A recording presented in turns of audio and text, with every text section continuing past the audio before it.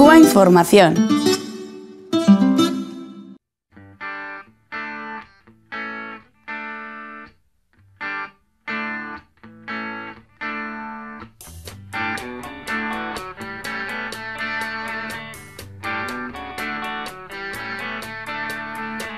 Pedro Luzado, the Wilshire Hotel. Vengo del sur. Y Llegué hace un rato largo ya. bueno, no voy a explicar eh, qué es el chico porque ya ayer Iñaki hizo una presentación bastante exhaustiva, entonces no, no les voy a aburrir con, con las cosas que hacemos y que no hacemos. Sí contar que durante estos cinco años de trabajo hemos estado en diferentes procesos de reflexión sobre diferentes temáticas y la temática del poder es una que nos ha atravesado tanto puntualmente en alguna ocasión, pero siempre ha estado, ha estado sobrevolando en las diferentes cosas que hemos hecho.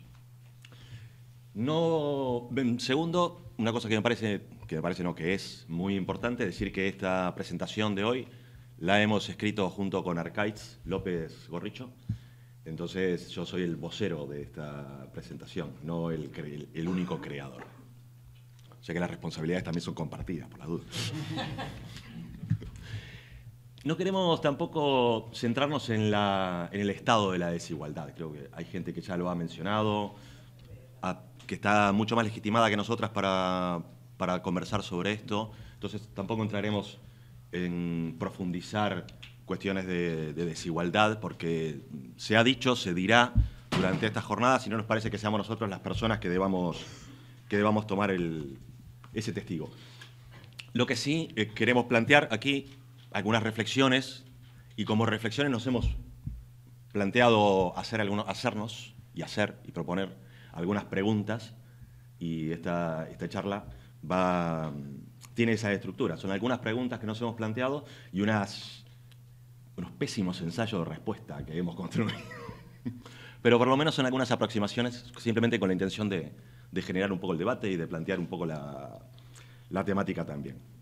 Esas, respuestas son fruto también de nuestras propias contradicciones. En esta cuestión del poder, nosotros tenemos bastante más interrogantes que certezas, ahí en querido. tenemos bastante más interrogantes que certezas. Vivimos cruzados por profundas contradicciones todo el tiempo. Intentamos resolverlas de la forma más honesta que podemos. Nos equivocamos muchísimo y intentamos aprender de esas equivocaciones y de esas contradicciones de la mejor forma posible. Entonces, con esta cuestión del poder, lo primero que nos parecía que era interesante era plantearnos de qué estamos hablando cuando hablamos de poder. ¿Qué es esto de poder? Y nos parecía también mm, significativo, curioso, bueno, divertido, arrancar eh, trayendo a la memoria la- los acercamientos al, al concepto de poder de Michel Foucault, que fue quien quizás generó una ruptura con las ideas previas que había de poder. Foucault decía, el poder reside en todas las personas, reside en todas las personas. Lo decía de otra forma, decía, todas las relaciones interpersonales están cruzadas por relaciones de poder.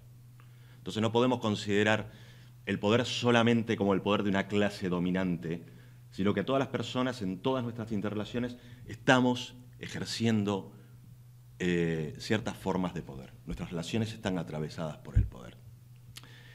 Y en esas interrelaciones, que también naturalmente se presentan en la, en la vida cotidiana, en la vida personal, esas relaciones personales naturalmente también están atravesadas por poder. Y en esas relaciones personales los hombres detentamos un profundo poder, afincado, no solamente en nuestra, en nuestra característica de hombre, que también, pero también promovido, potenciado por un sistema, sobre todo por el sistema capitalista, que nos ha convertido en los depositarios de una serie de privilegios que intentamos, o que estamos en un proceso de intentar deconstruir de forma tal de, acercarnos a una sociedad lo más igualitaria posible. Ayer Lucho decía, igual me equivoco exactamente en la, forma en la que lo pensaba, que la, igualdad en realidad es una utopía.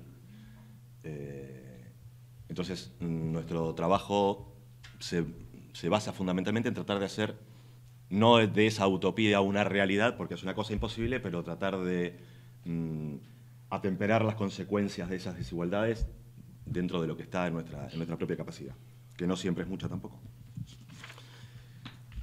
decíamos, eh, mm, mencionaba la, idea de Foucault y Foucault también planteaba que, el, poder para él no, está, que el poder en, esta, en esta lógica de relaciones interpersonales, a su vez, aunque parezca una contradicción, implica libertad. El poder no es coactivo necesariamente. El poder lo que es, en este tipo de, de poder, en las relaciones, lo que, lo que hace es genera ciertas reglas de comportamiento, genera ciertas pautas de comportamiento, ciertas reglas culturales que permiten aceptar que las cosas son así, que las relaciones son de esta manera. El poder convence más que, según, la, según Foucault, convence más que impone. En este sentido, los medios de comunicación, ya fuera de Foucault, han tenido una, una importancia significativa al plantearnos qué cosas son buenas, qué cosas son malas, cuál es el rol de cada quien y cómo debe comportarse cada quien. Unido a la idea de, que planteaba Foucault de la relación de poder, otra de las cosas que nos... Que, otra de las ideas que nos parecía importante, que el movimiento feminista lo ha planteado ya desde hace mucho tiempo, es esta diferencia entre el poder sobre y el poder para. La diferencia, los hombres nos hemos acostumbrado a detentar el poder sobre, ya sea sobre las cosas, con posesión, teniendo, buscando tener, o sobre las personas, oprimiendo, imponiendo nuestra, nuestro punto de vista, ocupando los espacios más privilegiados. Y que nuestro trabajo, pensamos, quizá nuestro trabajo, uno de, las, de los desafíos más importantes que tiene nuestro trabajo como hombres que intentan reflexionar sobre su propia condición, sea la transformación de ese poder para, perdón, de ese poder sobre, sobre las cosas, sobre la persona, en un poder para, en un poder para transformar. ¿Para transformar qué? para transformar la sociedad, puede ser en principio nosotros creo que nos estamos contentando con transformar en principio nuestras propias relaciones, nuestras relaciones interpersonales, nuestras relaciones laborales, nuestras relaciones profesionales, nuestras relaciones familiares, de forma tal de ir abandonando en la medida que vamos alcanzando unos mínimos objetivos, de ir abandonando nuestras cuotas de poder y nuestros privilegios. Entonces, en ese desafío de mm, transformar el poder para, otra de las preguntas que nos hacíamos es, ¿qué es esto del, poder masculino? Ya no el poder en general, sino el poder masculino, el poder de los hombres. Acá queríamos rescatar un concepto de Betty Friedan en el libro la, la mística de la feminidad, que hablaba de un malestar que no tiene nombre. Y cuando estábamos hablando con Arcaiz de esto, decía que a vos te iba a gustar. Em, dice, decía Arcaiz, los hombres detentamos un bienestar que no tiene nombre. Es una forma de darle una vuelta a esta cuestión y plantearlo en un lugar diferente. No plantearlo desde las personas que sufren nuestra opresión, sino desde quienes tenemos la, la capacidad de detentar el poder, este poder sobre, sobre las personas, y lo, denominaba Arcaiz este bienestar que no tiene nombre. ¿En qué consiste este bienestar que no tiene nombre? Esa sensación que tenemos los hombres de omnipotencia, ese sentirse necesitado para resolver las más diversas cuestiones. Ahora después vamos a hacer un listadito de algunos privilegios que tenemos en la vida cotidiana, donde algunos de estos están mencionados. Ayer teníamos un taller, el taller de poder justamente, veo a una de las compañeras que estaba ayer, y hablábamos de, esta, de, de este privilegio que tenemos los hombres de saber resolver cualquier cosa que tiene que ver con la tecnología. De pretender saber. De pretender saber cualquier cosa que tiene que ver con la tecnología. Decíamos, bueno, representábamos una escena, ¿no? Y en esa escena una, una mujer iba a hacer una ponencia y traía un proyector. Entonces, los tres hombres que estábamos ahí nos ofrecíamos rápidamente. Exactamente. Nos ofrecíamos a resolver un problema que no existía en realidad, porque la mujer no tenía ningún problema con el proyector, pero nosotros estábamos convencidos de que sí y que debíamos resolverla, y ahí estábamos los tres luchando por resolver un problema que no existía y que tampoco fuimos capaces de resolver, porque el proyector no funcionó jamás en la vida. Entonces, este lugar que detentamos, este privilegio que tenemos los hombres de saber resolver las cosas del coche. Ahora me voy a permitir contar un. hace, un par de días, hace un par de días íbamos a hacer una cosa muy, muy, muy de hombre que nos gusta mucho, íbamos a hacer incidencia política con el gobierno vasco. Una cosa espectacular. íbamos cinco hombres.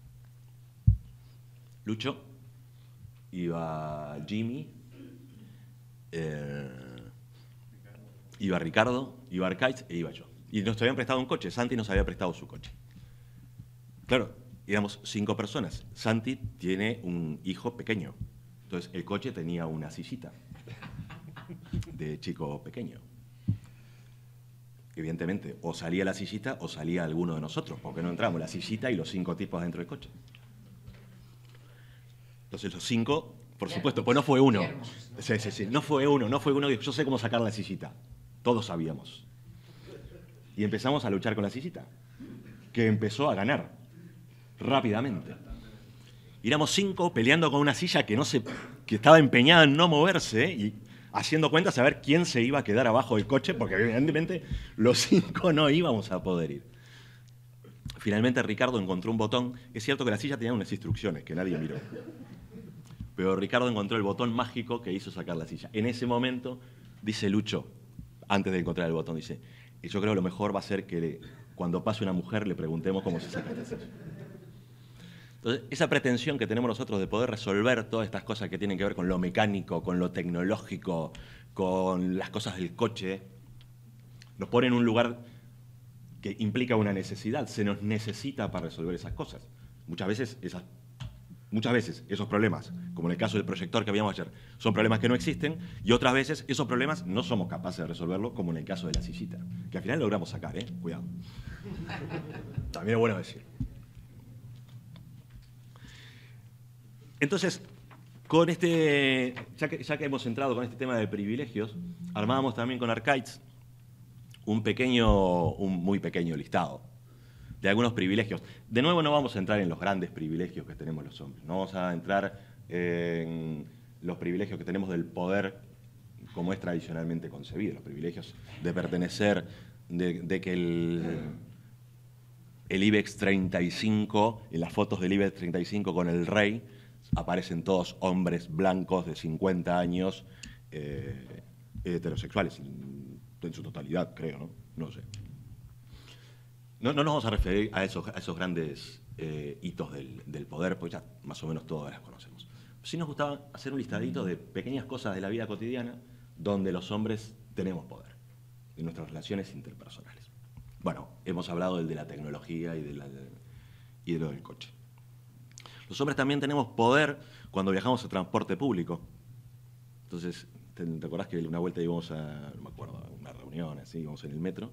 Íbamos en el metro, íbamos Irancho, Arcaiz y yo, y íbamos Arcaiz y yo sentados, y Irancho tenía un señor al lado. Un señor mayor, no me acuerdo que estaba sentado muy cómodamente en su asiento, ocupando unas tres cuartas partes del asiento de dos. Iranchu peleó con él insistentemente. Al final creo que perdimos esa batalla, ¿no? Sí. Entonces los hombres tenemos esa capacidad, no aquí, ¿no? Porque acá somos los hombres que estamos acá. Epa, cuidado. Ya nos controlamos. Pero los hombres, en el transporte público es muy evidente, se nota mucho. También lo veíamos ayer en el, ayer en el taller. Nos sentamos con las piernas abiertas, nos depositamos plácida y tranquilamente en nuestros asientos, porque al final es que los asientos son nuestros. Es que el espacio este, este espacio público, también el privado, decía Lucho ayer, es nuestro. Y disponemos de él como se nos canta. No pasa nada. Entonces, ese es uno de los elementos, eso es uno de los ejemplos que mencionábamos cuando mencionábamos el poder. Con respecto a la tecnología, es cierto que tenemos, eh, que tenemos el poder de resolver y saber usar la, tecnología que se necesite para eso. No toda. No toda. En, los materiales de Guisondus, que, se los recomiendo a todo el mundo, ¿no? Lo, curso de masculinidad, le recomiendo el curso de masculinidad de, de Guisondus, que es online, que es gratuito, que se hace una vez por año, es muy interesante. En uno de los materiales mencionaban una encuesta del CIS de 2005 que decían que, yo creo que es el 15, solamente el 15% de los hombres usa el lavarropa y hace la colada de su casa. Entonces, no toda la tecnología nos viene bien, también es bueno decirlo. No, no con toda la tecnología eh, tenemos buena relación. Con la plancha tampoco. La, la plancha ya no tengo la estadística, pero seguramente es igual. Que planchar es muy jodido, eh, cuidado. A mí me parece muy dificilísimo. Planchar una camisa me parece la cosa más horrible del mundo. Supongo que será la cosa. Ahora, nosotros no la hacemos porque como es fea, ya no nos gusta que la haga alguien más. O usamos la camisa sin planchar. Otra de los privilegios que tenemos, eh, que tiene que ver con, los sentidos, tenemos el privilegio de no escuchar a los niños o a las niñas cuando lloran por la noche, porque tenemos el sueño muy profundo. Entonces, también tenemos como hombres ese privilegio que nos permite seguir durmiendo mientras nuestra compañera en las parejas heterosexuales sí tiene la capacidad de escuchar al niño en la noche cuando llora.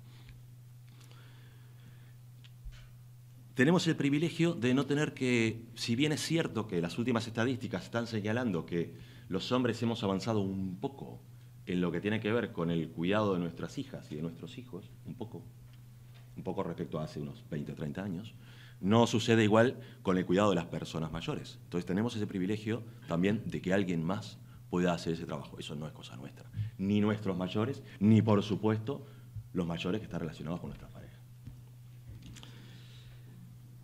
Tenemos el privilegio también de poder decir a las mujeres lo que pensamos sobre el cuerpo de las mujeres. De decirles si nos gusta, de decirles si no nos gusta, incluso de decirles tanto el cuerpo como la sexualidad cómo debiera ser. Y ese privilegio lo tenemos y lo ejercemos permanentemente. Tenemos el privilegio de simplemente por el hecho de ser hombres, de por sí, hagamos lo que hagamos, tener mayor reconocimiento por las cosas que hacemos. Frente a la misma actividad que hace un hombre o una mujer en el mismo sector, habitualmente los hombres, habitualmente generalmente los hombres, tenemos mucho mayor reconocimiento, logramos el reconocimiento bastante más rápido de lo que lo logran las mujeres. Y finalmente, en este pequeño listado de privilegios, también tenemos el privilegio de que algunos miedos no son ajenos. Algunos miedos no son nuestros. No tenemos el miedo de morir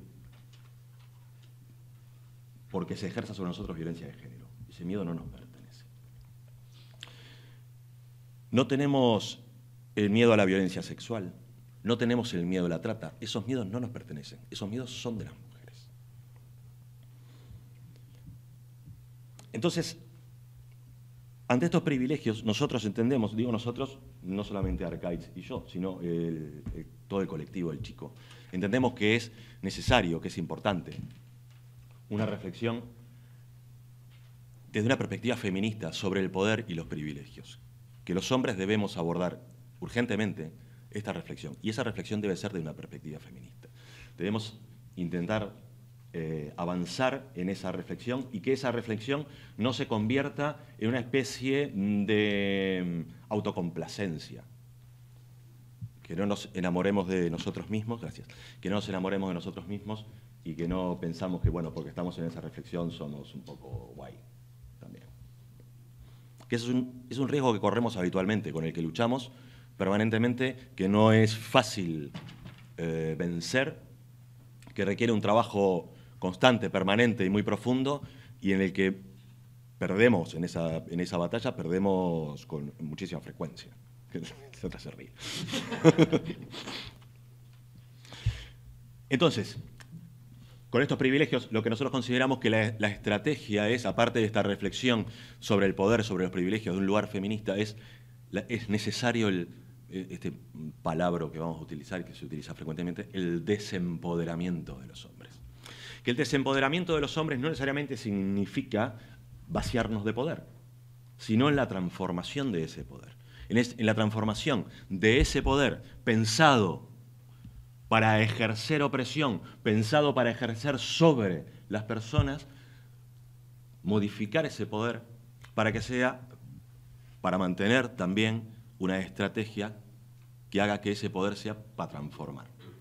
Sobre todo, en principio, poco a poco, intentar transformar nuestras propias relaciones interpersonales. Y en esa transformación, intentar que esa transformación se vuelva a su vez una cuestión política. Y este es otro de los detalles donde nos queríamos centrar.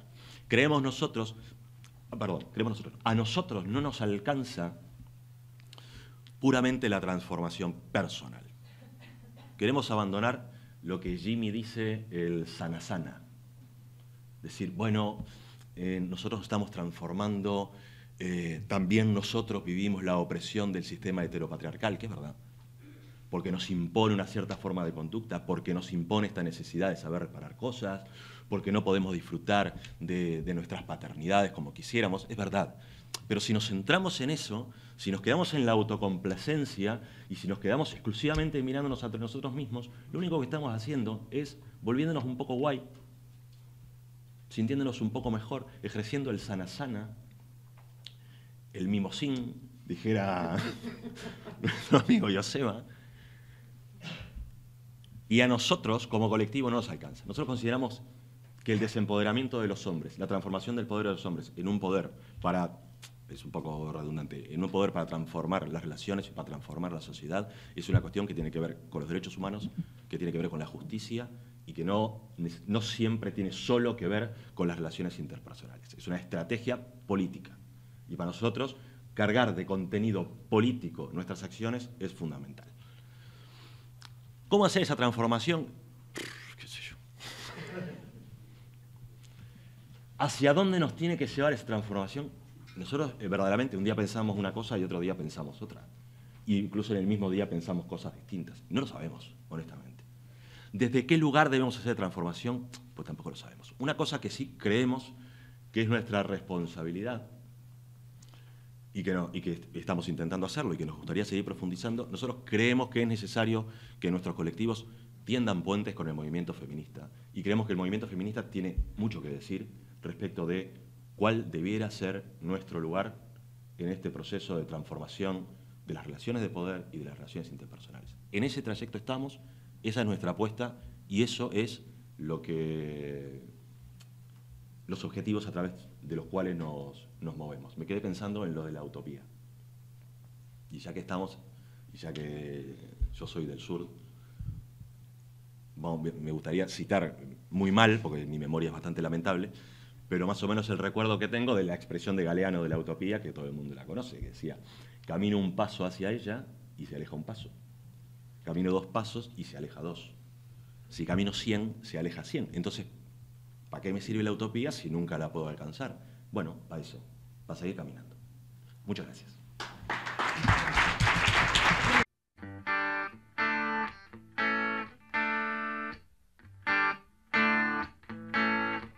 es que ricasco. Bueno, yo estoy encantada de estar en el ilustre colegio de abogados del señorío de Vizcaya. Abogados, porque a mí los señores de Vizcaya nunca me llevan a sitios ilustres, entonces hoy estoy encantada, me, me parece un, marco incomparable, voy a empezar así. Entonces, bueno, pues, pues estoy muy contenta de estar aquí porque me parece muy interesante que, que hayáis... Eh, ah, bueno, yo como ya no necesito micro con esta voz de Leonard Cohen que tengo. Pero a mí me parece muy interesante, era necesario, pero, pero lo quiero reconocer, el hecho de que hayáis abierto explícitamente el, el espacio, este espacio al movimiento feminista, ¿no? Porque, bueno, ahora me quedaba así un poco... Bueno, hay una cosa también que me hace especial ilusión, que es compartir esta mesa con Fede, que ya se lo he dicho, pero os quería decir que lo sepa todo el mundo. Y, bueno, claro, además yo vengo con, o sea, yo vengo con mi caña, pero ahora que te oigo hablar es como, pues que sois más majos. y es, bueno, sí, sois majos, pero, pero nosotras tenemos que decir algunas cuantas cosas desde el movimiento feminista sobre, sobre cómo esperamos que os posicionéis en, en un sistema de dominación que os ha enseñado a dominarnos y a nosotras a que nos dominéis y que encima nos guste, ¿no?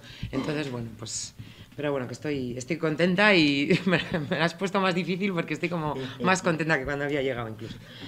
Bueno, yo quiero reconocer que esto de hablar de, de, las expectativas del movimiento feminista con respecto al papel de los grupos de hombres o qué esperamos las feministas que hagáis los hombres, es una osadía porque este es un debate que el propio movimiento feminista todavía lo tenemos abierto, ¿no?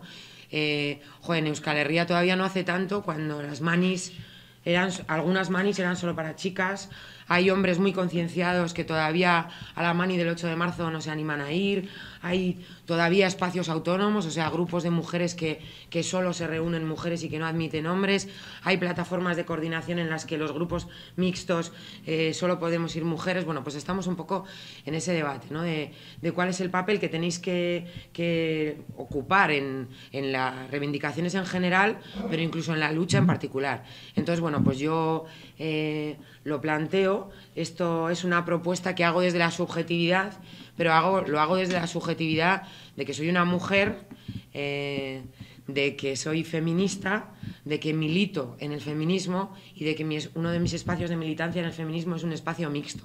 Entonces, bueno, pues que por lo menos tengo el, recorrido para, legitimar, por lo menos tener una postura con respecto a esto. Entonces, bueno, pues hablo desde ahí.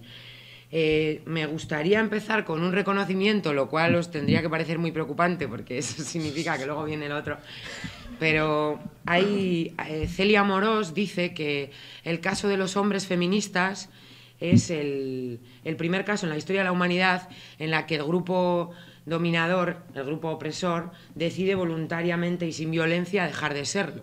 Entonces, bueno, pues a mí me parece que eso a pesar de que además yo siempre me quejo que a mí me tocan en las charlas los majos. Yo algún día quiero que me toque la charla de los machunos de verdad, ¿no? Para que a eso sí que les daría un repaso, pero bueno, pero un reconocimiento de que a pesar de las, de, las posibles críticas, a pesar de, de, los espacios de privilegio, a pesar de, de que os creéis muy guays a veces, pues que, que, hay que hacer un reconocimiento a que de alguna manera con lo bien que podíais estar vosotros en, en vuestros privilegios os habéis molestado en, en tratar por lo menos de, de, salir de ellos de alguna manera, ¿no? Entonces, bueno, desde ahí.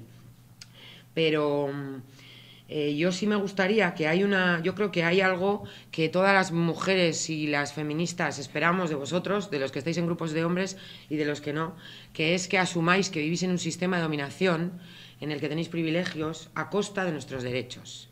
Entonces, lo que esperamos de vosotros es que renunciéis a vuestros privilegios, a vuestros privilegios en política, a vuestros privilegios económicos, a vuestros privilegios en casa, a vuestros privilegios en la cama, a vuestros privilegios delante de la lavadora.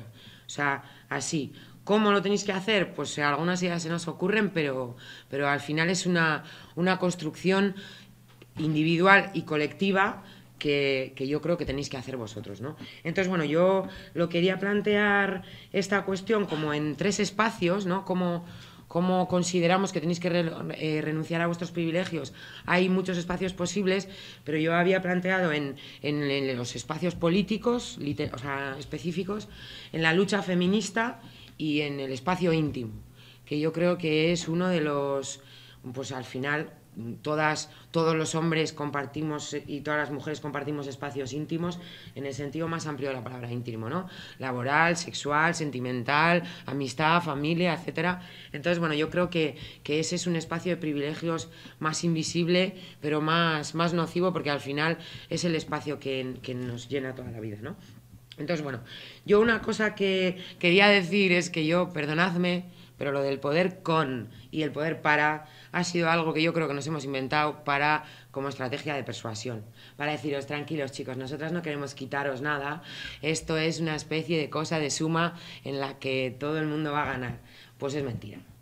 O sea, yo opino que el poder para y el poder con o sea, que me parece muy bien conceptualmente, pero no existen. O sea, Marcela Lagarde lo dejó muy claro. ¿Qué queremos las feministas?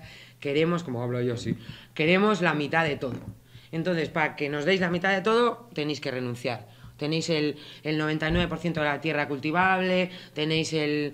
Nosotras somos el 70% de la gente pobre, estáis en todos los lados, tenéis todo el dinero, todo el tiempo, todo el espacio, todo el todo. Entonces queremos la mitad del asiento en el metro y la mitad del poder político y la mitad de absolutamente todo. Entonces esto solo se consigue si vosotros renunciáis a la una parte que tenéis. Entonces no tenemos previsto que sea ni violentamente previsto, ni... No tenemos previsto, como, como dijo el compañero de momento era o por ahora o nunca me sale. De momento no tenemos previsto que sea violentamente porque somos el único grupo, la única revolución que no ha tenido víctimas más que en uno de los bandos y, no, y es el nuestro como sabéis. Entonces, pero, no, pero esto es una cuestión de que tenemos que repartir el poder y repartir el poder significa que vamos a ser la mitad de, que tenemos que ser la mitad de las ministras, tenemos que ser presidentas, tenemos que estar en los consejos de administración, pero que tenéis que renunciar a vuestros privilegios en casa, en la familia, en el curro, en la cuadrilla, cuando vais por la calle, es decir, que esto implica cambios. Yo creo que suena mejor, o sea, yo creo que vais a estar mucho mejor. pero no lo puedo garantizar, ¿no? Porque hay algunos, los privilegios son muy cómodos, ¿no? Es, imaginaros, o sea, a mí me parece, de hecho, que de verdad tenéis mucho mérito porque el, a nosotras el patriarcado nos ha convencido de que estamos bien así, siendo dominadas. Entonces, imaginaros, a vosotros que sois los dominadores, esto tiene que ser fantástico, ¿no? Entonces es como, a mí me parece que tiene mérito, pero aviso que esto no va a ser eh, felicidad y suma cero. Felicidad va a ser, pero suma cero no. O sea, esto va a doler un poco porque va a haber que renunciar a cosas muy cómodas, ¿no? Entonces, bueno, a mí me gustaría, por ejemplo, eh, que asumierais los grupos de hombres os autodenominarais como grupos de militancia política.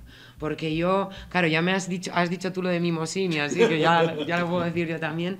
Pero sí que es verdad que desde el feminismo ha habido una crítica que a veces en los grupos de hombres os habéis centrado en, la, en el desempoderamiento individual es muy divertido y muy chulo y, ser, eh, poder mm, hablar de tus emociones y todas esas cosas es fantástico, pero se os ha olvidado en, cierta medida el desempoderamiento colectivo, es decir, la organización colectiva para dejar de ser un grupo privilegiado. Entonces yo creo que desde el feminismo lo primero que os pediríamos sería eso, que os asumáis como grupos de militancia política y de desempoderamiento colectivo y que, y que tengáis una agenda política al respecto. Y claro, yo como creo que todas las luchas de cualquier, al final todas las luchas son luchas de las mujeres, la ecologista, la internacionalista, la pacifista, la absolutamente todas las luchas son las luchas de las mujeres porque las mujeres somos la mitad de la gente.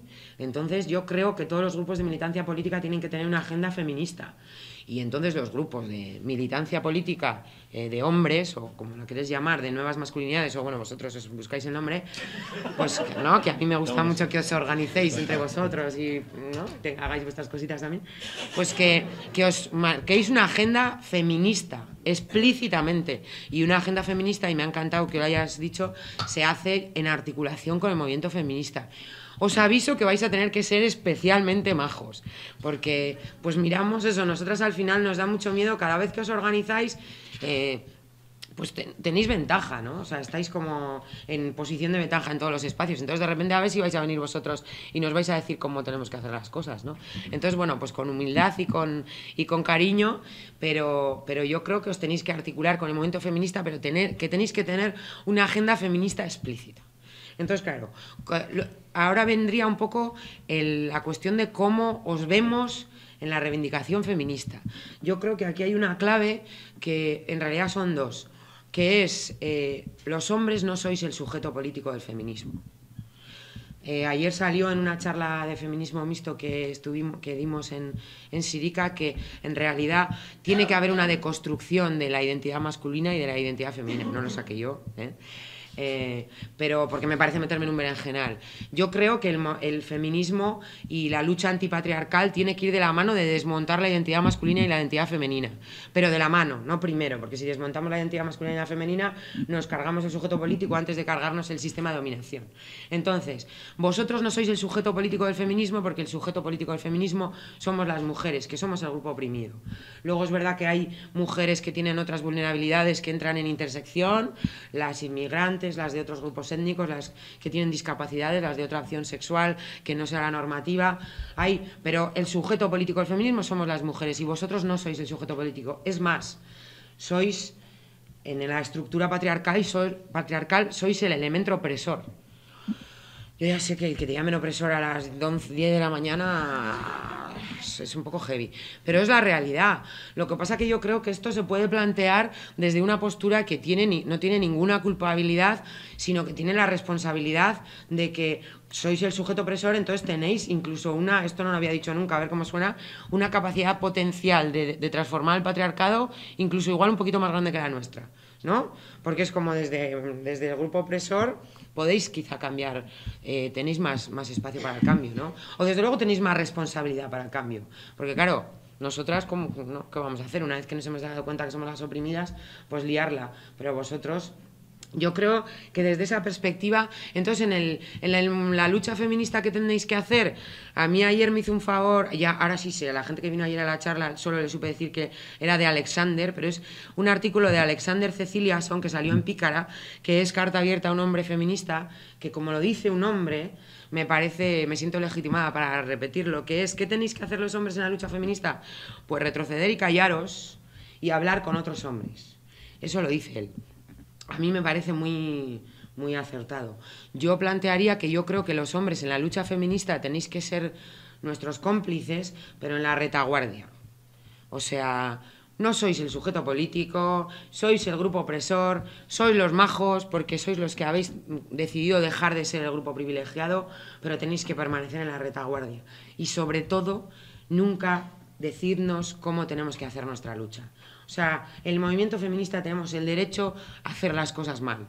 Pero por favor no nos digáis cómo hacer las cosas, por mucha trayectoria política que tengáis en diferentes movimientos y todo eso, porque eso sí que es, o sea, ya nos decís cómo tenemos que hacer las cosas todo el rato, no nos lo digáis en el feminismo, ¿no? Entonces, es difícil porque, por ejemplo, nosotras eh, nunca, no se nos ha socializado en que el espacio público es nuestro espacio natural, entonces, pues a veces pues esto, el gran debate que hay con los espacios autónomos feministas o los espacios mixtos, ¿no? que a veces hay gente que no entiende que haya grupos de mujeres y grupos feministas que no aceptan hombres. Y una de las excusas es, es que monopolizáis la lucha, ¿no? es que monopolizáis la palabra, es que os ponéis a liderar. Y, es, y parece, joder, pues vaya cutrez de, de grupo feminista, que, nos tenéis, que tenéis miedo a que haya hombres para, porque os van a monopolizar. Pero es que esto es una realidad. Nosotras no se nos ha socializado ni en ejercer el poder, ni en ejercer las reivindicaciones, ni en ocupar el espacio público. Entonces, nosotras tenemos dificultades de género construidas para estar en el espacio público. Entonces, vosotros tenéis que ser conscientes de que vosotros tenéis privilegios de género construidos para estar en el espacio público. Así que si lo hacemos mal, pues os esperáis un poquito y nos dejáis que lo hagamos bien. Ayer una compañera que me encantó porque dijo que lo que tenéis que hacer es estar un par de siglos calladitos. A mí me pareció un poco heavy, así como propuesta, pero, pero era un poco eso, ¿no? Como, joder, o sea, de verdad, dejadnos hacer las cosas mal que ya aprenderemos, ¿no? Es un poco en la cuestión esta del paternalismo y del, y del tratarnos como hay chavalas, ya os vamos a, a, decir. Que yo sé que ya sé que no hacéis vosotros eso, ¿eh? Pero, pero bueno, por si acaso.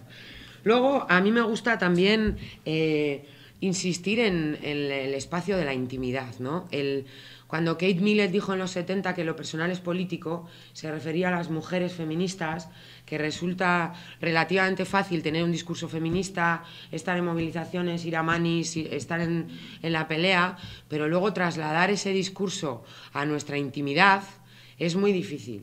¿no? Estamos atravesadas por una construcción del amor romántico, sobre todo en, las relaciones heterosexuales, que nos enseña que, el amor lo puede todo, que nos enseña que, amor es, que el amor tiene una componente de sufrimiento, que es la que mm, le da la cañita, que, que, nosotras hemos venido al mundo a satisfacer necesidades ajenas, entonces que cuidar nos hace felices, que cuidar gratis nos hace más felices todavía porque lo hacemos por amor, que el amor todo lo cura, que aguantar. Entonces tenemos todos esos aprendizajes que, nos, nos hacen muy difícil no, no, seguir siendo dominadas y satisfactoras de, necesidades ajenas en el espacio íntimo. Pero vosotros, también estáis socializados en el que nosotras estamos aquí para satisfacer nuestras vuestras necesidades, para cuidaros, para gustaros, para haceros lo que os gusta y para que encima nos guste a nosotras. Y claro, la parte que os toca a vosotros es la, que más mola. Entonces, ahí es donde es difícil de construir eso, ¿no? Entonces yo os propondría, hay una frase que no, no sé quién la dijo, pero que todo el mundo quiere hacer la revolución, pero nadie quiere fregar los platos ni poner la lavadora, ni cambiar los pañales, ni yo qué sé, limpiar el baño, que es esta cosa, ¿no? Que es el, madre mía, el santo grial de reparto del trabajo doméstico. Entonces yo os diría, yo creo que tenéis una responsabilidad de responder a la irresponsabilidad de que todavía hoy el reparto equitativo del trabajo doméstico y del trabajo reproductivo es una mentira, vamos. O sea, no, yo, igual los que estáis aquí son los majos, pero la realidad es que todavía ni, ni por el forro cuidáis lo mismo que cuidamos nosotras. cuidar sigue siendo una, una asignación a las mujeres, que además nosotras lo vivimos como natural y lo hacemos desde la culpa. Es decir, si a mí hay días que estoy de mi niña o de mi niño, que es monísimo y me encanta, pero estoy hasta el gorro y me quiero ir con mis amigas o irme al monte o al gimnasio o a tocarme la nariz, a tomarme siete vinos, todavía lo hacemos desde la culpa. Y vosotros, antes has dicho que los hombres tenéis, vosotros no tenéis tiempo para vosotros, vosotros tenéis tiempo. Y nosotras tenemos tiempo para mí la comparación cuantitativa de ese tiempo es, vamos, desastrosa. Entonces, tenemos, o sea, tenéis una responsabilidad en el reparto del trabajo doméstico y del trabajo de cuidar. Y que vos cuando os decimos que nosotros lo hacemos, vete, vete, vete, que yo me quedo muy a gusto, es mentira es mentira. O sea, nosotras también queremos quedar, que os quedéis con la criatura o con la mamá o con la persona enferma y irnos a la calle a hacer las cosas que nos gustan. A nosotras también nos gusta cuando volvemos de la playa con la prole eh, mirar en nuestro correo en internet en vez de meteros a todos a la bañera. A nosotras tampoco nos gusta limpiar el baño. Y si vosotros lo hacéis mal sistemáticamente, igual lo acabamos haciendo nosotras, pero miraros lo de hacerlo mal sistemáticamente porque lo hacéis a propósito y lo sabemos. O sea, trabajo de cuidados y no el cuidar guay de me llevo a la criatura al parque. El cuidar que no mola. El cuidar a la mamá de 98 años con Alzheimer, el cambiar los pañales y el levantarte a las 3 de la mañana. Y lo de que no les oís llorar también es mentira lo sabemos. ¿No? Esto el otro día me dijo una chica, es que él se pone el chip de dormir y, no le oye. Y yo pensé, me estaba lavando la cabeza mientras lo hacía la peluquera y decía, no le voy a decir nada a la pobre, pero esto, la próxima vez que venga se lo digo. O sea, él también le oye. Entonces, bueno, pues eso mirároslo. Pero luego hay otros espacios de relación en el que yo creo que a veces es hasta más, más difícil el, el plantear estas cosas, que es los espacios de intimidad, ¿no? Yo creo que os tenéis que mirar cómo nos queréis y las negociaciones en el amor y, cómo gestionáis el deseo de controlarnos y cómo gestionáis el deseo por nosotras y cómo tratáis, eh, o sea, cómo gestionáis el deseo sexual. Yo creo que a veces desde esta cosa, en estos espacios amables de hombres majos de izquierdas, muchas mujeres no nos sentimos cómodas. O sea, aunque sois majos de izquierdas, a veces tenéis comportamientos eh, relacionados con lo sexual y con el deseo que son profundamente incómodos.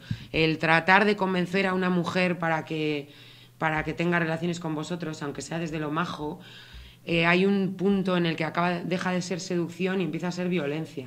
El sexualizar a mujeres en contextos que no viene a cuento, sexualizar a mujeres o a hombres y a todo el mundo es fantástico, pero en contextos que viene a cuento. Eh, en contextos que no viene a cuento, eso es violencia. El hacer sentir a una mujer incómoda, eso no os lo podéis permitir. O sea, desde ahí también tenemos que desmontar el, el hecho de que el sexo ha sido un espacio de poder patriarcal y lo sigue siendo.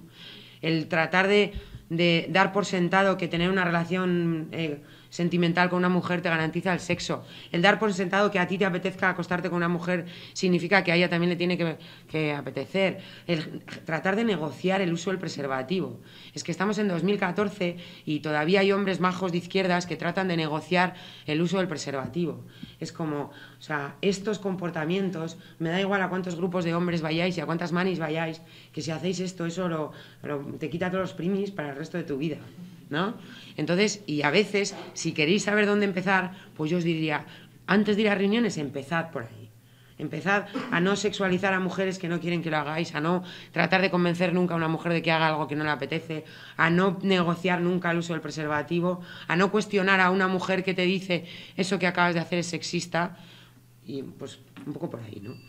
Entonces, bueno, yo como ya me he pasado los cinco minutos de cuando me has dado el papel, pues, pues yo voy a dejar todos estos planteamientos así, me imagino que luego habrá habrá debate y ya pues ya saldrán un poco más cosas que ah pero hay hay una frase de, de la filósofa frívola que es una bloguera que a mí me gusta mucho que es una o sea que es un poco bestia no a veces con y dice los hombres que, que reconocen sus debilidades y los que sospechan que tienen eh, comportamientos patriarcales, esos son los majos.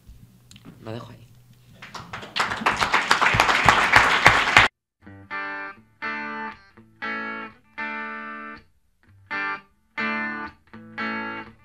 Bueno, eh, eh, la entrada me había dado oportunidad de escaparme por, el humor, que, creo que es uno de los caminos por donde solemos escaparnos los hombres de estos debates que eh, de alguna forma eh, están siempre planeando eh, cada vez que nos sentamos en estas mesas. ¿no?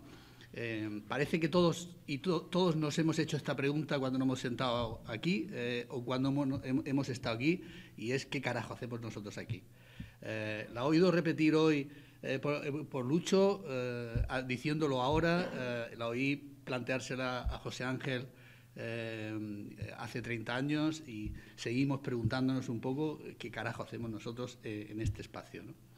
Yo creo que necesitamos una reflexión, eh, porque si llevamos tanto tiempo por aquí, sobre cómo se ha ido gestando las condiciones en las que hemos ido, nos hemos ido sumando a lo que sea aquí, que es otro de los debates que no debemos de plantear.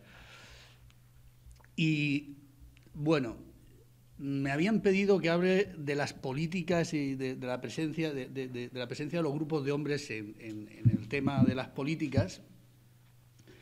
Y como uno además lleva por aquí también un tiempo y se, eh, ya lo consideran de los históricos, eh, casi la había interpretado eh, de las políticas públicas y venía dispuesto a hacer una introducción que se cargara la idea de que las políticas tienen que ver con lo público o sobre todo con lo administrativo.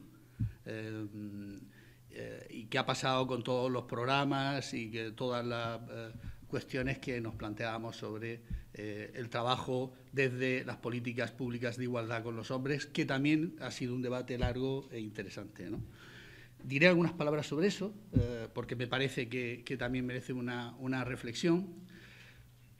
Quisiera decir algo sobre esto de los grupos de hombres, los hombres por la igualdad, y ahora el debate que se nos está planteando, que es los hombres en, los feminismos.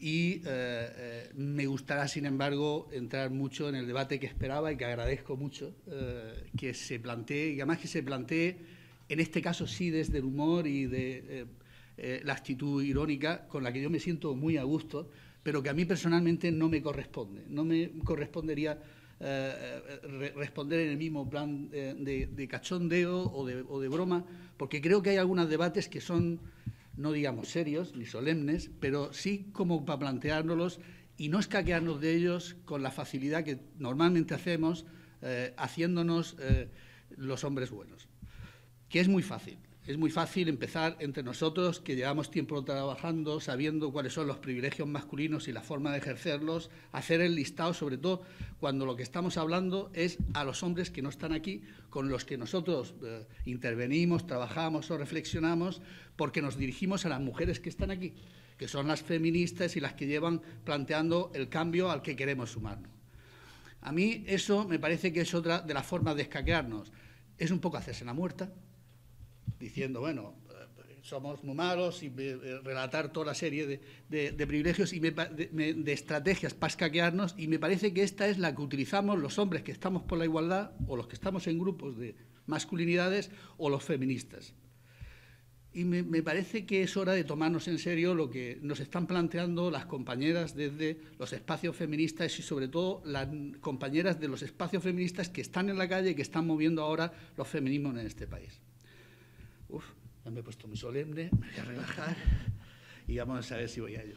Hay una, siempre una dificultad en presentarnos. Eh, Rafa lo, lo, lo, ha transmitido eh, como mm, diciendo, bueno, Hilario ya, eh, porque no sabía muy bien si, cómo denominarnos y cómo llamarnos, ¿no? Yo mm, me he intentado mirar todas las veces que nos decimos y me he ido a la última, en la que me presento, en un correo precisamente a Rafa, que nos invita a participar en un vídeo. Y, y yo hago una referencia, la única que hablo donde marco el género, que es uno de los trabajos difíciles, es hablar eh, sin marcar el género, eh, cuestionando los sujetos eh, que, se, que, vienen detrás, y, y digo, los hombres que porque estamos por la igualdad pretendemos formar parte de los feminismos, no podemos olvidar que por nuestra condición de género tenemos que ser especialmente cuidadosos con nuestros privilegios y, en mi opinión, la palabra es el principal de ellos. La palabra como instrumento de ejercicio del poder, claro. Pero, ahora, así no te puedes presentar, porque tú vas así y te presentas y todo el mundo piensa de qué está hablando este, ¿no? Claro. esto, este mismo, este mismo desequilibrio acabo de tenerlo yo mientras que tú hablabas una cosa muy... Bien, ahora, tú puedes acortar la frase y convertirlo en un lema o una etiqueta para que te definan. Y lo cortas donde tú quieras. Puedes decir los hombres por la igualdad o los hombres en, los feminismos. Yo creo que eso es uno de los debates que tenemos ahora en este eh, momento, de los más interesantes y por las que yo quiero empezar a agradecer que se me haya invitado a estar en este espacio. Eh, verdaderamente está siendo una experiencia personal de reflexión en el momento en que estamos, eh, entre varias generaciones de hombres que estamos aquí desde hace un tiempo, y para mí está siendo muy productivo. Yo quiero agradecer mucho a, Tricu, que nos ha cuidado mucho, a la gente del módulo, a los compañeros eh, de Chico, la acogida y el ambiente que han creado, para que podamos hablar y podamos empezar a a bueno, seguir, porque llevamos ya tiempo en esto, eh, compartiendo y, haciendo reflexiones que no son, eh, desde luego, del nivel de la agenda que se nos plantea y que se nos pide y que creo que deberíamos de seguir desarrollando, porque diré algo sobre lo que ya hemos dado algunos pasos. Pero sí que es eh, un diálogo eh, que eh, es para mí imprescindible personalmente, porque me, facilita orientarme en los muchos sitios que estoy de este terreno, pero además porque vamos generando una reflexión que efectivamente tiene mucho de lo que no ya los feminismos, sino el conjunto de la sociedad necesita y es un desarme moral y una renuncia a privilegios, sobre todo desde el punto donde hablamos. Supuestamente yo hablo desde la posición de hombre eh, eh, hetero y eh, con capacidades, no discapacitado. Las tres cosas son falsas. Yo he sido negro cuando vivía un poco más al norte de aquí me han dado patados los, alemanes llamándome Kanaken. Lo de hetero estoy a veces y a veces no, no sé muy bien cómo me encuentro últimamente. Y lo de eh, no discapacitado es simplemente pura fachada. De hecho, mi situación formal es el nirvana. Yo soy incapaz absoluto, permanente, que creo que es al máximo, a lo máximo de que un hombre puede llegar. Jugándose la vida en ello, también es verdad. Es decir, que a mí casi eso me, cuesta la vida. Bien, esa es desde la posición de la que yo hablo y lo hablo también desde la posición de alguien que lleva militando, activista, en, eh, por la igualdad o en los feminismos desde hace, desde el 96 más o menos. Bueno, a lo largo de ese tiempo hemos estado viendo un poco cómo ha evolucionado la posición de los hombres y cómo los hombres hemos participado eh, en esto de la igualdad o, de los cambios sociales. A mí me parece que está por hacer la genealogía de este, de este movimiento cuando vengo al País Vasco, especialmente hablando desde otra parte del Estado, noto que hay muchas diferencias entre lo que pasa aquí y lo que pasa afuera. Aquí está muy marcado el movimiento por los grupos de hombres. Tiene que ver con la historia particular del sitio. Tiene que ver con el peso de eh, alguna de las figuras emblemáticas en eh, el movimiento de hombres y en lo que se llama, lo que yo llamaría la prehistoria del movimiento de hombres si sacara fotografía de los eh, eh, hombres que estaban ahí al principio, tres, sino cuatro eran vascos y todos ellos eran terapeutas. Con lo cual, los grupos de hombres nacen como un espacio de reflexión personal donde lo que se está planteando es el cambio en lo personal o en lo íntimo, por no diferenciar los dos conceptos, eh, entre, eh, eh, de los hombres en el momento en que las mujeres están en un proceso de feminismo que no tolera ni tolera, no, no, acoge, no llama, no es un llamado a los hombres, precisamente por el momento de la transición en la que vivíamos. Bueno, en esa circunstancia, el espacio de los grupos de hombres, que es también por donde yo empecé, se convierte en un espacio de reflexión casi íntima y donde trabajar fuera y comprometerse más allá eh, no tenía, eh, no, solamente no tenía mucho sentido, porque no había el espacio donde hacerlo, sino que para los hombres que estábamos allí era algo que no pretendíamos, porque la mayoría veníamos de la militancia política donde estos debates eh, no, eran no se podían situar, no se podían dar. La mayoría de gente que, eh, habíamos militado, lo que hacíamos era volver al espacio de lo personal y abandonar un terreno donde todas estas cuestiones no cabían. Bien, durante mucho tiempo hubo un cierto debate, bueno, durante mucho tiempo, estoy hablando del noventa y pico. José Ángel hizo ayer parte de, esta, de, la historiografía, que, yo no, de la cronología, y, recomiendo un, sitio en Internet, una cosa que se llama DPT, que es el Movimiento de Hombres por la Igualdad eh, en España, eh, que, está haciendo Joaquín eh, Montaner, un compañero del foro, y donde tenéis un poco todos los mm, eventos que han ido marcando la evolución de, este meneillo, como definía José Ángel. En, esa cronología hay puntos que marcan inflexiones y yo creo que se acoplan bastante bien a la evolución de los feminismos.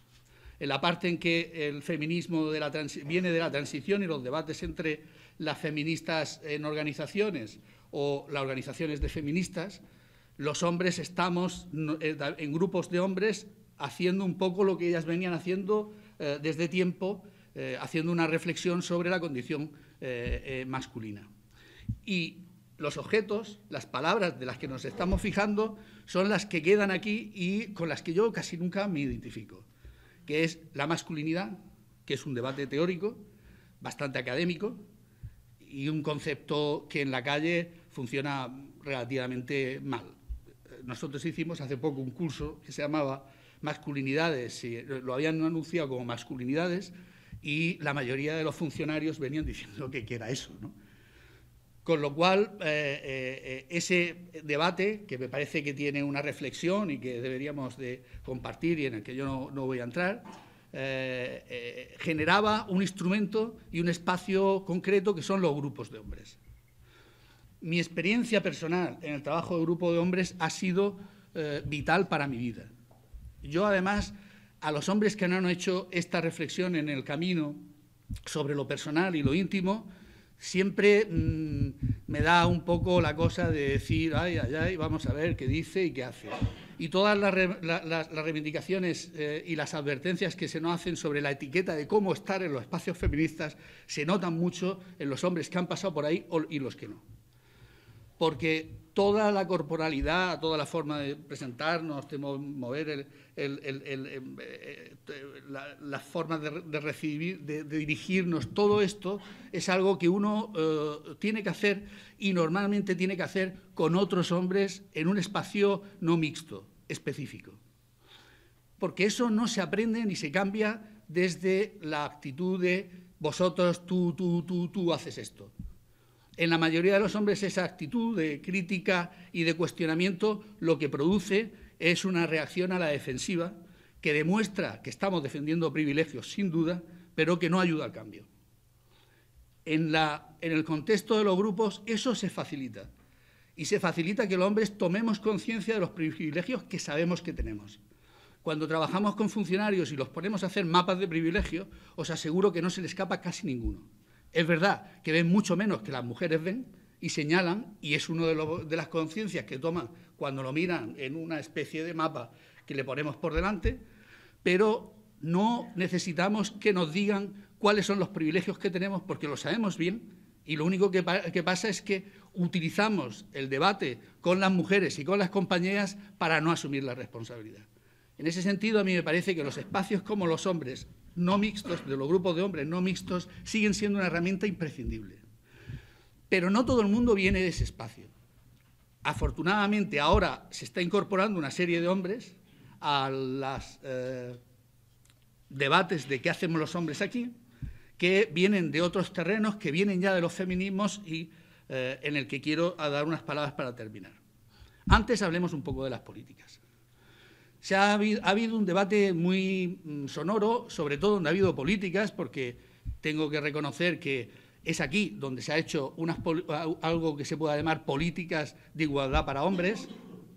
En el resto del Estado haré un pequeño repaso, pero eh, lo que había se está quitando y lo que hubo se quitó desde el principio y contaré un par de casos.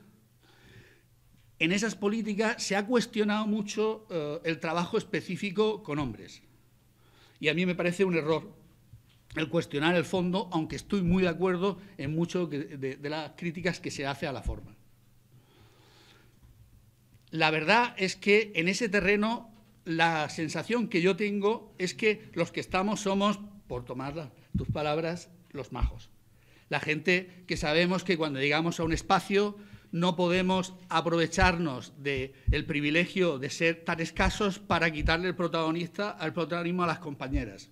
Y en general, quien hemos trabajado en ese terreno, sabemos dos o tres claves que funcionan.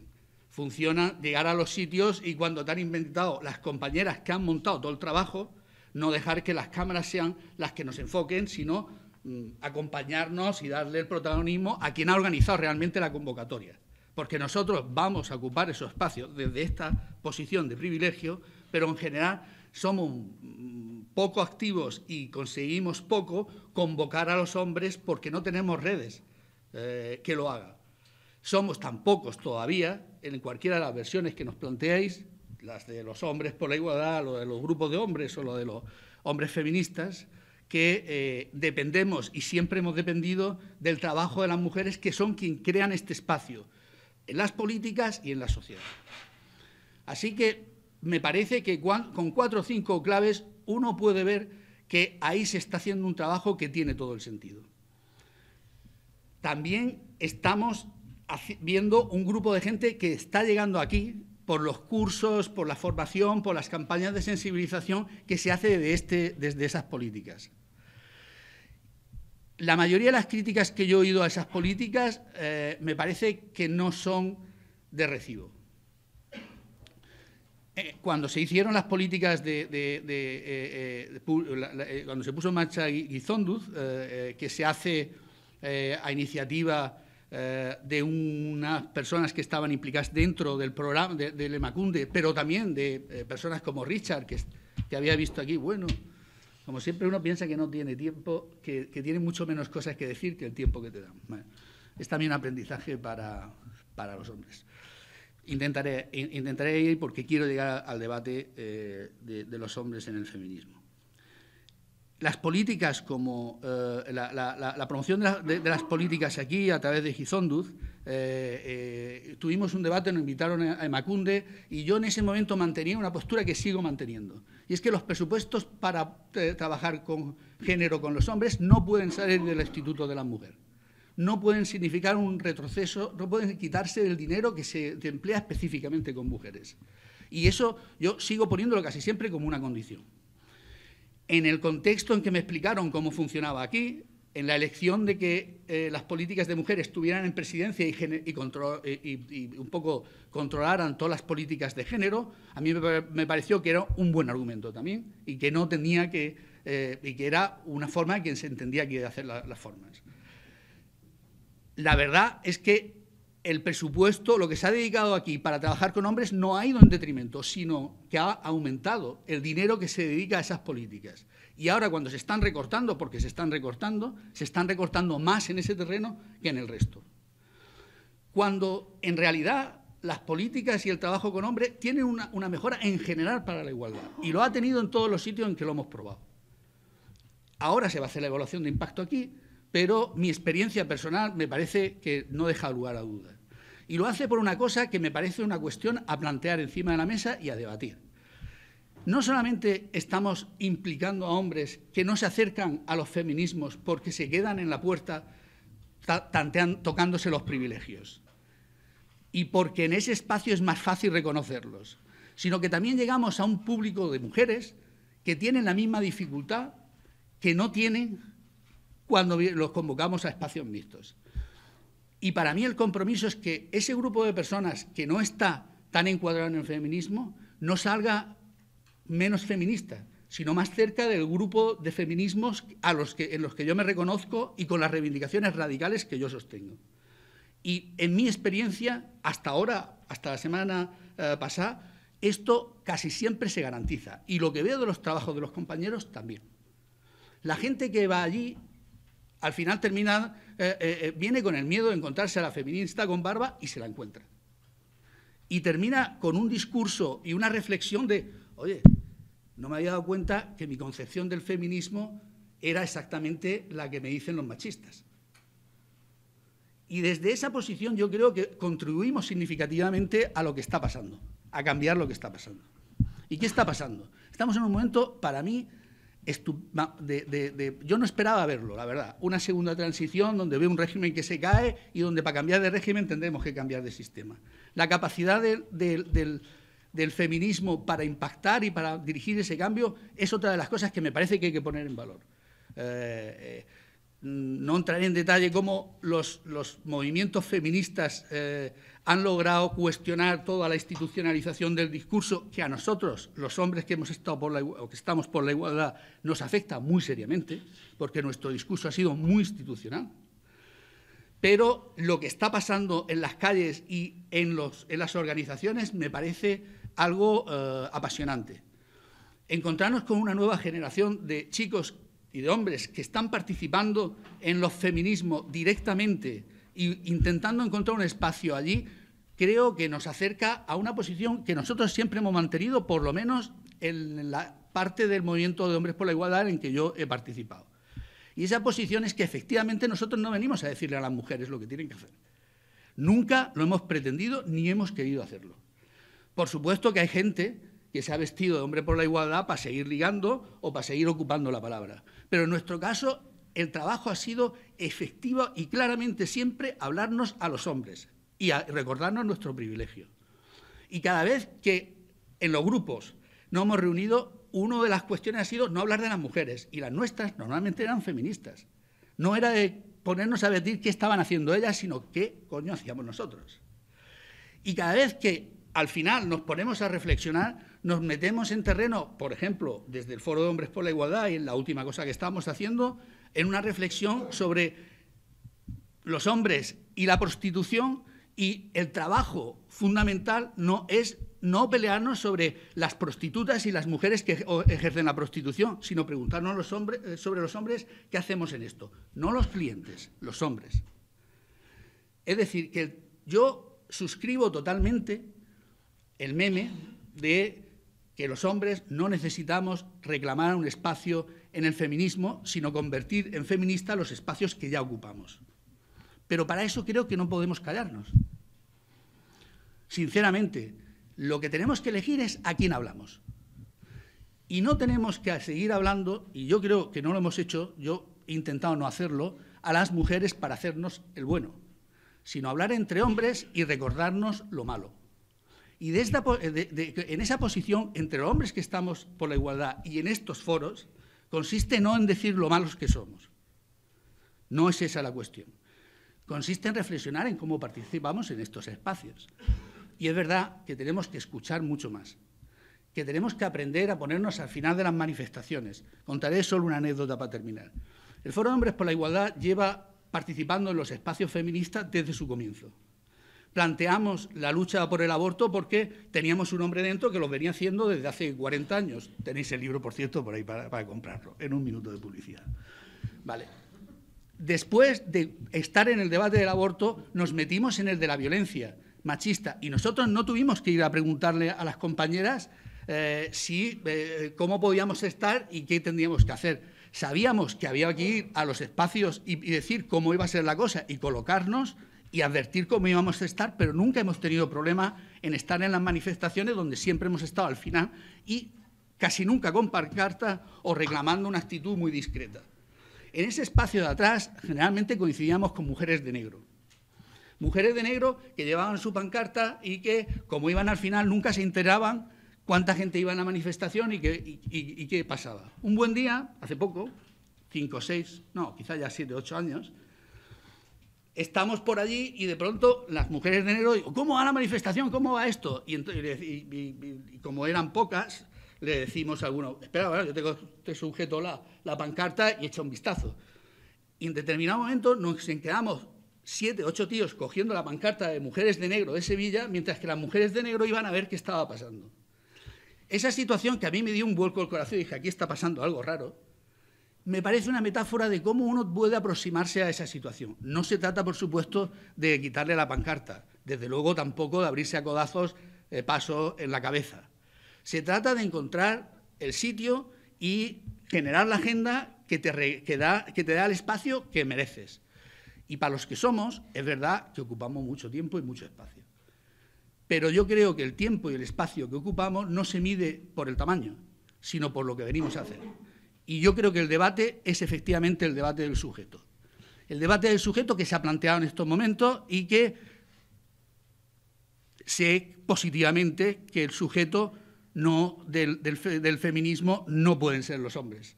Nosotros somos el sujeto opresor eh, de la desigualdad. Pero hasta que el sujeto, el cuestionamiento del sujeto no sea solo el de clase media o, el, o, colonial y se plantee si la cuestión es el sujeto es, mujer o qué es el sujeto, no se podrá dejar de plantearse cada vez que uno se sienta aquí qué hace un hombre en esto. Porque de rebote siempre se plantea que si el espacio es mujer, ¿qué hacemos nosotros en esto? Mi respuesta es que ser mujer no basta y ser hombre no exhibe. Yo quiero repartir el poder, pero quiero que el poder sea 100% feminista. Y yo, mi experiencia, en la que después con el tiempo y tal no he entrado, es que muchas de las personas que se han metido y que no se han metido por el camino de la institucionalización, nos han metido bajo el reclamo de ser mujeres, no de ser feministas y que eso ha tenido también sus costes y que habrá que reflexionar cómo superar y cómo ir más allá de ello creo que es un debate que las mujeres que llevan tanto tiempo en esto lo están haciendo y que hay que prestar atención y que en ese momento dejaremos de preguntarnos qué carajo nos tenemos nosotros aquí en esto. Gracias.